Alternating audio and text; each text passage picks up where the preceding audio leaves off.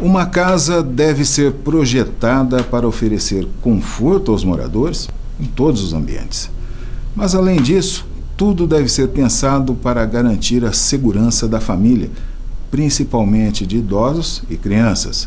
Para os pequenos, os cuidados com instalações elétricas, degraus e outras situações que podem representar riscos são essenciais para evitar acidentes domésticos ainda mais comuns durante o período de férias escolares. Durante o período de férias, os acidentes com as crianças aumentam. Segundo o médico pediatra, eles podem e devem ser evitados.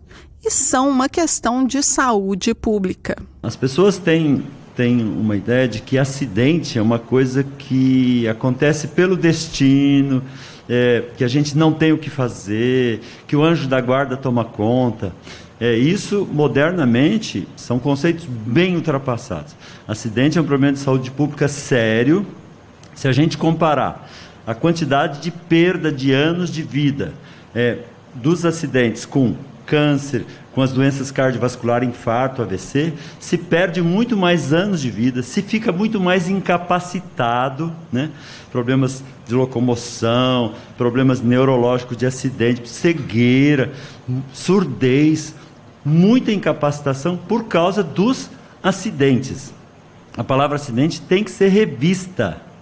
É, a palavra, atualmente, o termo que a gente usa em medicina é injúrias, lesões, traumas não intencionais. Mas que existe uma causa. Sempre existe uma energia que vai provocar o malefício. Essa energia pode ser de velocidade, né, as pancadas, os traumas, das quedas, Pode ser energia química, aquele remédio, aquele produto químico que a mãe não guardou no lugar adequado, tornou acessível à criança, é, que é um ser curioso por natureza, é, manipular, ingerir, berço encostado numa tomada e deixa um grampo ali perto. criança é um ser curioso, aumenta a chance. A energia é, a irradiação ficar no sol muito tempo e outras coisas. Então sempre tem uma energia que vai provocar a lesão e sempre dá para prevenir, se antecipar e, e evitar o problema. Cada fase é um risco, por isso os pais e responsáveis devem ficar atentos. A cozinha é o local com maior índice de acidentes com crianças. Por que cozinha? Porque lá tem produtos químicos e tem fogo, e tem fogo, e tem fogão, né? Então, uma mãe distraída que bota uma toalha grande numa mesa, em cima da toalha é um leite fervendo, se a criança puxa, cai tudo em cima da criança. Se a panela está com o cabo virado para fora, nas primeiras chamas do fogão, uma criança mais alta vai encostar e vai cair tudo em cima dela, não tem jeito, acidentes acontecem. Aquele produto químico, aquela soda cáustica que está ali no armário, não está protegida, a criança vai mexer, parece, parece coco, aquilo a criança vai pôr na boca. De quatro a cinco meses, a criança começa a rolar. Então você deixa a criança na cama e vai pegar alguma coisa, ela rola. Você não sabe o momento que ela vai começar a rolar. Rola e cai. Por volta de nove, dez meses, tem uma fase de desenvolvimento que é, que é pinça. A criança consegue pegar com o polegar e com o indicador. Ela pega coisas pequenas e coloca tudo na boca, porque a boca é uma área de prazer. A chance de engasgo, se tiver coisas, objetos pequenos tal.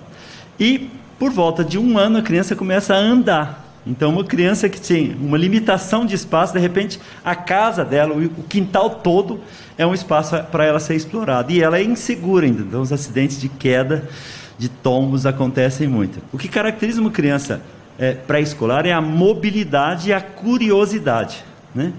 Então, essas pessoinhas, né, elas são muito curiosas. Então, se tem um cachorro, ela vai lá botar a mão na boca do cachorro. Às vezes o cachorro está comendo naquele momento. Pronto, olha o acidente acontecendo. Né? Se tem é, é, um vaso sanitário aberto, um balde é, é com água, a criança pequenininha vai lá e vai tentar pegar o que está lá no fundo do vaso e ela pode emborcar e se afogar, né? Então, as crianças correm, não vê o degrau. Escada é um negócio muito importante também, que dá muito acidente também, né? É, a criança escolar, esse já tem uma autonomia, já fica mais longe, já brinca com, com, com os companheiros, eles são muito competitivos. E eles disputam muito, e eles têm muita energia de movimento neles, eles correm com velocidade alta. tromba com a parede, tromba com a trave, tromba...